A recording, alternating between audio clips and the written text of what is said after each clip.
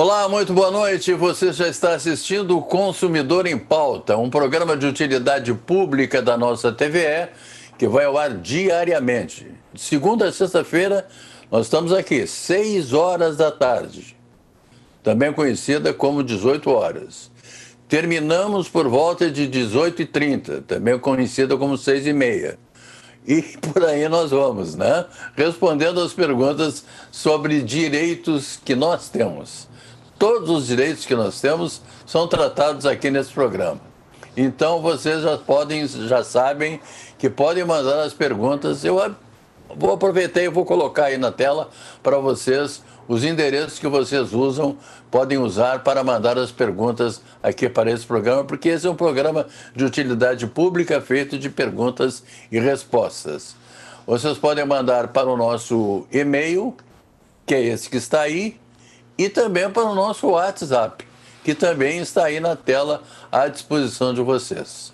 Agora, se vocês quiserem assistir o programa ao vivo, então vocês clicam ali no YouTube, no TVE ao vivo, e vocês assistem, podem assistir no telefone, se tiver é como, vocês podem assistir no notebook, no tablet qualquer lugar vocês, que vocês estiverem e que tenham acesso a um aparelho desses, vocês podem assistir o Consumidor em Pauta ao vivo. Tá bom? Não vou falar muito, porque senão depois as pessoas começam a perguntar aqui, dizer que eu falo, falo, falo, falo e não deixo os outros falar. Então, estou falando bem pouquinho. Tá bom? Então, tá bem. Hoje nós vamos conversar sobre direito de família e sucessões. Eu tenho um prazer muito grande de conversar aqui, eu aqui e ele lá na casa dele, com o doutor Pedro Verde. Boa noite, doutor Pedro, tudo bem? Boa noite, Machadinho. Tudo ótimo, graças a Deus. E por aí, tudo bem? Tudo bem, graças a Deus. A semana foi boa, trabalhou bastante. Trabalhei, tivemos um feriadinho aí, mas, mas foi um feriado de trabalho. Ao menos na, no fim de semana eu descansei, mas na segunda-feira eu trabalhei.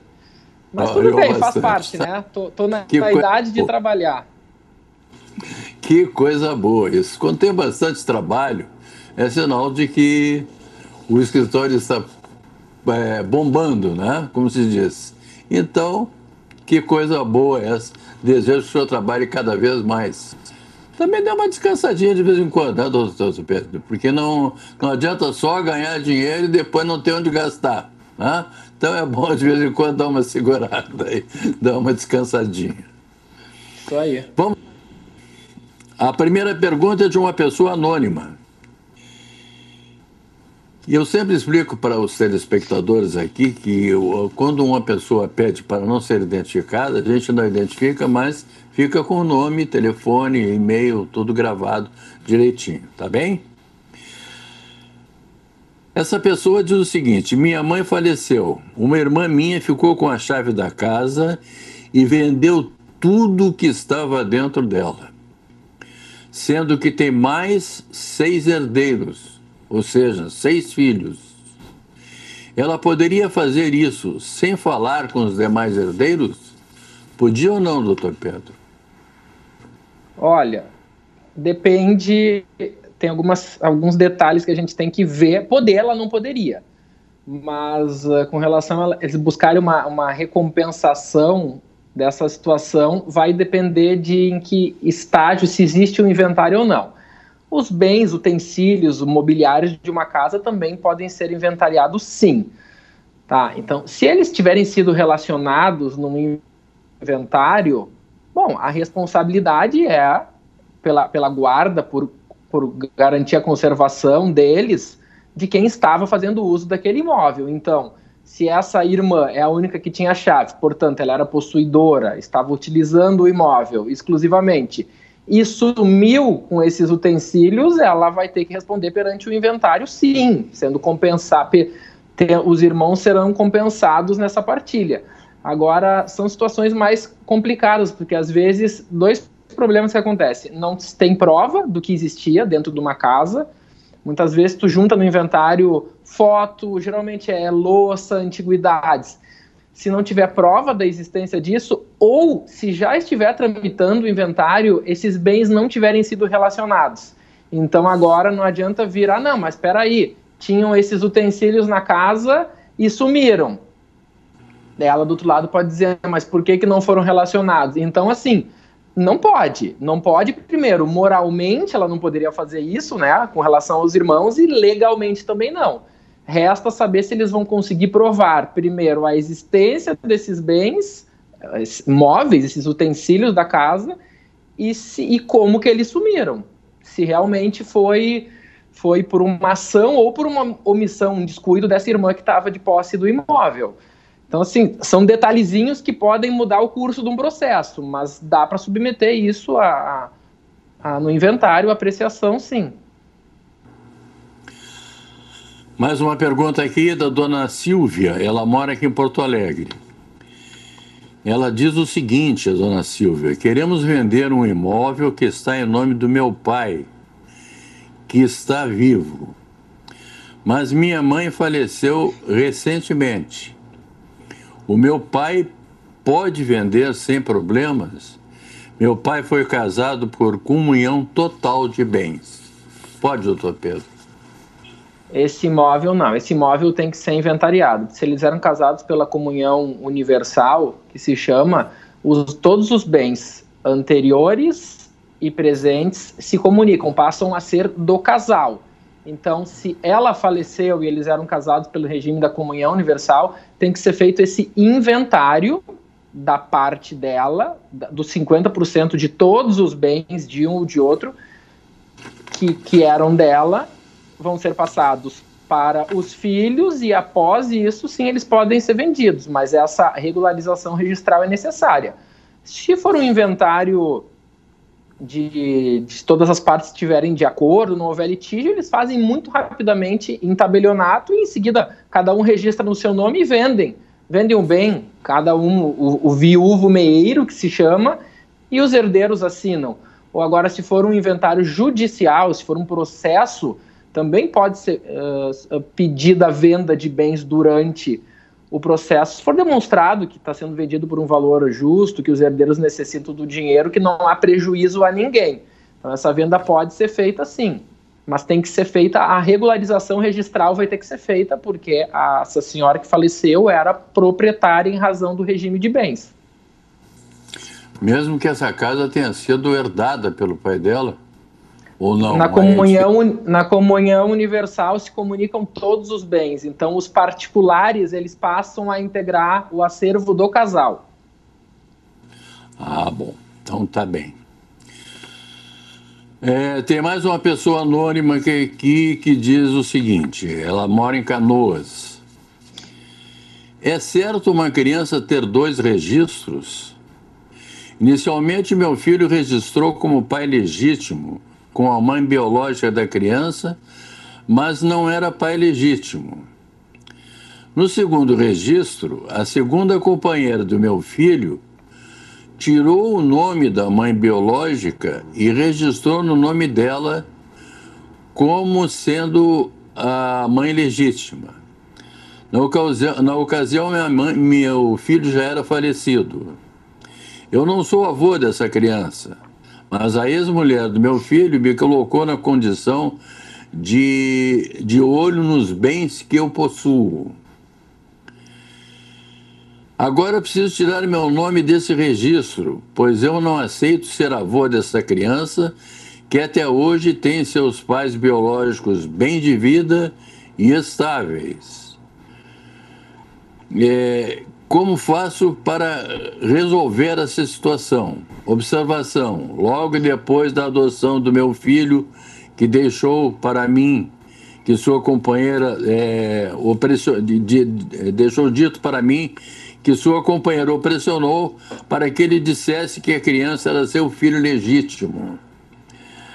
Foi aí que ele registrou no nome dele. Passou um ano ele faleceu de repente e misteriosamente. E daí, doutor Pedro?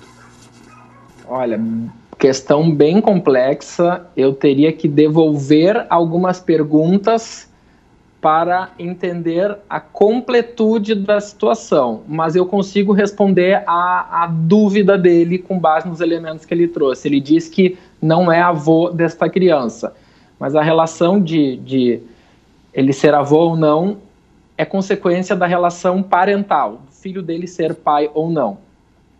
E esse filho dele registrou esta criança e nunca questionou, ainda que houvesse uma desconfiança, ou ainda que não fosse o pai biológico, porque pai não é quem concede o material genético, né? Pai é quem cria. Então, registra. Então, ainda que esse o filho do telespectador não fosse o pai, ele registrou esse filho e pelo que se entende da, da narrativa, ele tratou este, este menino como um filho. Então, a única forma de, de, digamos, revogar isto teria sido, enquanto ele fosse vivo, entrar com uma negatória de paternidade, e ainda assim não seria garantido. O problema é que essa negatória de paternidade, que é uma ação em que um pai, que não é o pai biológico, diz: Não, eu não sou o pai biológico, então eu não quero ser pai registral é a única pessoa que pode entrar com essa ação é o próprio pai que quer ver a, a paternidade negada. Só que ele já faleceu. Então, ninguém pode fazer isso por ele. Se ele tivesse ingressado e morresse no, no, decorrer do processo, os herdeiros podem seguir com o processo, mas ele não manifestou isso, então um avô não pode fazer isso. Esse avô é avô porque o filho é pai e nunca questionou ainda que pudesse haver uma dúvida. Então, o, o, máximo que eu posso dizer, respondendo a questão, é não, ele não, não tem o que fazer com relação a isso, mas se ele tem preocupação com relação aos bens, então ele tem que buscar uma outra via de direcionar os bens para outras pessoas, de, da, forma legalmente, obviamente. Ah, todo mundo pode doar, testar 50% dos seus bens, então se ele tem outros filhos, sobrinhos, primos, amigos, que ele gostaria de beneficiar patrimonialmente, ele pode fazer um testamento, ele pode fazer doação em vida. São alternativas que eu vislumbro nesse caso. Doutor Pedro, nós vamos fazer o seguinte, vamos fazer um pequeno intervalo, mas é bem rapidinho mesmo, hein? É só o tempo do senhor tomar um golinho d'água. A gente vai e volta.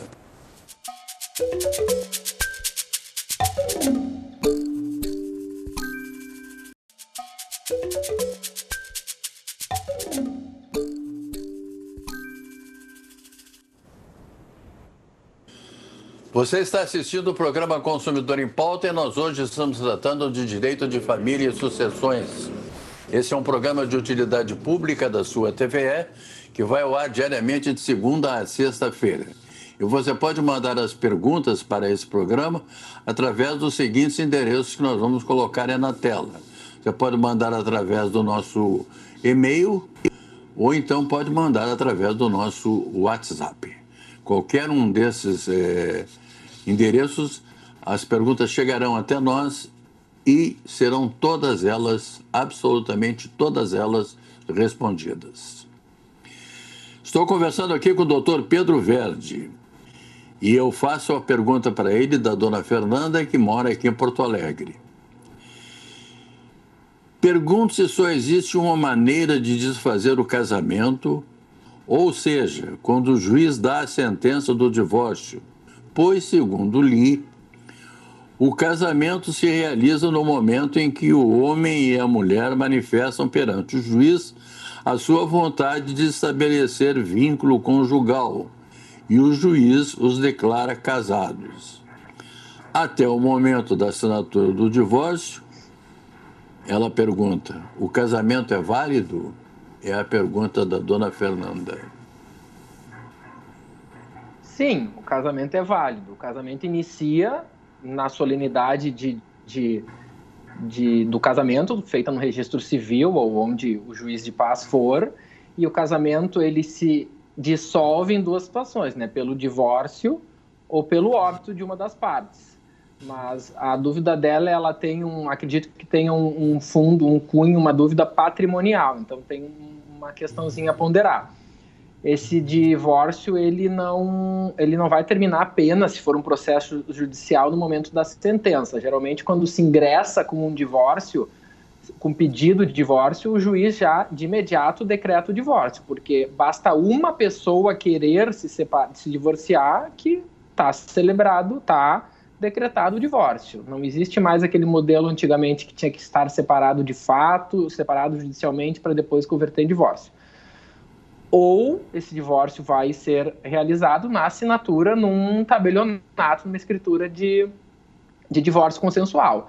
Porém, no momento em que a, a separação de fato, que é esse casal, digamos assim, rompa, não viva mais conjuntamente, encerre a comunhão de vida,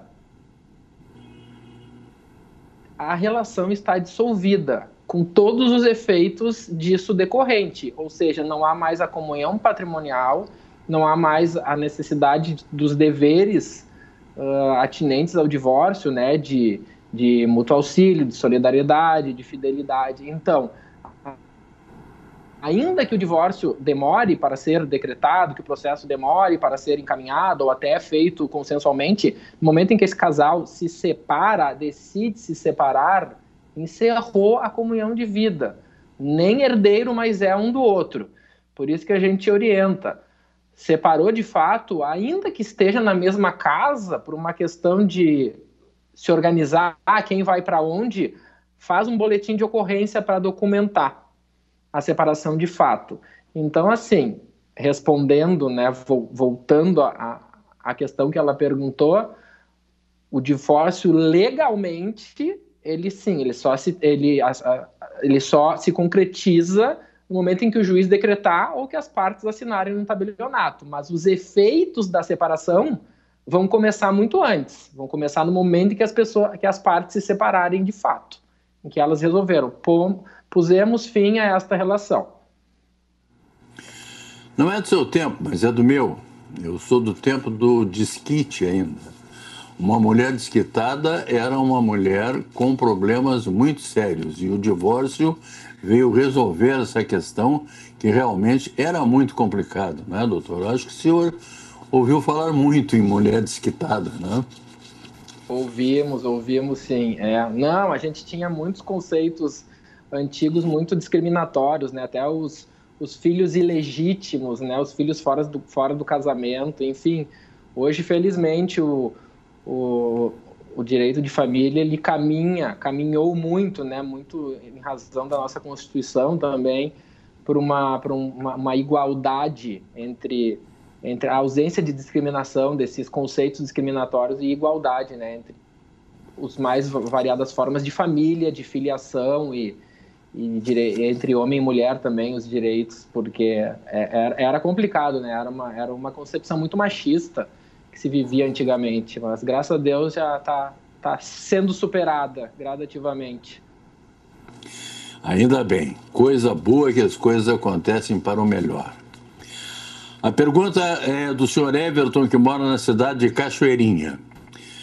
O senhor Everton diz o seguinte: Meus pais faleceram num acidente de automóvel no mês de setembro de 2018. Eles deixaram bens e minha irmã e eu, únicos herdeiros, fomos fazer o inventário para saber o quanto e o que cada um herdaria. Acontece que nos assustamos com os valores cobrados para a realização do inventário. Temos como tratar da herança sem gastar tanto? É o que pergunta o senhor Everton. Olha, tem, tem uma despesa que eles não vão conseguir fugir, que ninguém foge, que é o imposto de transmissão. Os custos do inventário, se for feito um inventário extrajudicial, em tabelionato, de comum acordo, eles vão ter o custo da escritura e os custos de registro. Eles podem tentar pedir a AJG, que a gente chama, né, que é assistência judiciária gratuita, que é a isenção de custas. Dependendo da situação deles, eles podem tentar fazer esse inventário judicialmente via defensoria pública. Quem recorre à defensoria pública se presume-se que não tem condições de pagar um advogado, então já não vai ter que pagar as custas também. Então, esta é a forma mais barata de fazer um inventário, via Defensoria Pública. Mas ainda assim, dependendo do, do volume patrimonial, o imposto, né, nós sabemos que de imposto ninguém foge. A partir de tal valor ali é tributado. Então, sempre vai ter um custo. É, é complicado, sempre vai ter um custo. Mas o caso deles é defensoria pública. Tá certo. A dona Norma mora aqui em Porto Alegre. Ela gostaria de, de ser esclarecida sobre a guarda compartilhada. Que requisitos devem ser observados? Que vantagens a criança terá? E se os pais devem estar em comum acordo? É verdade que o filho ficará uma semana com cada pai? Tudo que for importante para a criança deve ser decidido pelos pais? E daí, doutor Pedro? Bom, a guarda, a nossa legislação, ela prevê a guarda unilateral e a guarda compartilhada. Uh, costumeiramente é feita uma confusão com essa dita guarda alternada, que na verdade não é uma modalidade de guarda, mas ela se relaciona com a convivência com o filho. O que, que é a guarda unilateral? É aquela guarda em que um pai ou a mãe, um dos dois genitores, vai tomar as decisões importantes para a vida do filho. Escola, que esporte vai fazer, que turno vai estudar. A guarda compartilhada, os dois pais exercem igualmente o poder decisório, independente de com quem o filho more. Não tem relação nenhuma com a convivência. A maioria dos casos que a gente vê que o filho mora com a mãe e fica fim de semana alternados com o pai, mais algumas noites na semana, a guarda é compartilhada. Ela não tem relação com o tempo que vai ficar. Agora, isso que é chamado de guarda alternada, ela diz respeito apenas à convivência. Em alguns casos, sim, é, é geralmente combinado entre os pais. Quando o filho já é maiorzinho, que ele possa ficar uma semana com um e uma semana com o outro, mas isso não tem nada a ver com o poder de decisão. Não vai ser tudo decidido na semana do pai e o pai vai decidir, na semana da mãe ela vai decidir. Porque imagina, então na semana da mãe ela vai lá, põe no inglês, na semana do pai ele tira do inglês, põe no espanhol. Não é isso. A alternância é de convivência. E repito, a gente vê na prática e até as decisões dos tribunais recomendam essa guarda quando a criança já é maior, quando ela já tem uma consegue manifestar vontade, já tem uma circulação mais livre entre os pais. Agora, guarda compartilhada, o ideal é que os pais tenham diálogo, consigam conversar entre eles para decidir conjuntamente. Mas ela pode ser fixada também, e vem sendo fixada nos casos em que os pais não conseguem conversar também. Porque uma guarda unilateral é um problema muito sério, ela pode seguidamente ser usada pelo pai que detém a guarda com uma forma de afastar do outro. Então, assim, a guarda unilateral, ela não necessariamente precisa, desculpa, a guarda compartilhada, ela não necessariamente precisa ter o comum acordo entre os pais. Os dois têm o, de, o, o dever e o direito de decidir sobre a vida do filho, e, e no que eles não chegarem num consenso, em situações extremas, o juiz pode decidir. O juiz pode dizer, vai pegar no domingo de noite, vai devolver, vai levar na escola, vai almoçar. Infelizmente, em algumas situações, o judiciário tem que intervir. Mas é isso, uh, não existe uma regra. Cada família, cada arranjo, uh, cada família vai ter o seu arranjo. Mas o ideal é que a, a convivência seja os filhos convivam com os dois, sempre visando o interesse do filho, nunca o interesse dos pais, é o interesse dos menores. Ele até diz: nós somos advogados das crianças. Né? Então, o ideal é a guarda compartilhada e que os pais consigam decidir conjuntamente o, o encaminhamento desse filho menor. Eu acho que as únicas pessoas que não podem sofrer quando acontece uma separação, principalmente, são as crianças, não é, doutor Pedro? Elas não podem sofrer nunca. E são quem mais sofre, né? Porque eles não entendem. E numa fase de formação da personalidade, e é, é, bem, é bem complicado mesmo, porque respinga muito. E a gente acha, as pessoas acham que elas não absorvem, mas elas absorvem muito mais do que se imagina.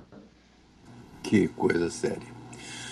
Doutor Pedro Verde, tive um prazer muito grande em conversar com o senhor aqui nesse programa, que hoje tratou de direito de família e associações.